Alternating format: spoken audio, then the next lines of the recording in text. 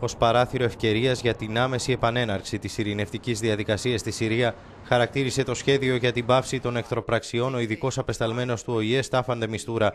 Ο Γενικός Γραμματέας του οργανισμού Μπαν Κιμούν κάλεσε τα εμπλεκόμενα μέρη να σεβαστούν τους όρους της συμφωνίας. Ελπίζουμε ότι όλοι οι όροι θα εφαρμοστούν, δήλωσε εκπρόσωπος της Επιτροπής του ΟΗΕ για τη Συριακή κρίση. Για εμάς, όροι όπως η ανθρωπιστική πρόσβαση σε υποπολιορκία περιοχές και η απελευθέρωση γυναικών και παιδιών που κρατούνται αυθαίρετα δεν είναι προαιρετική.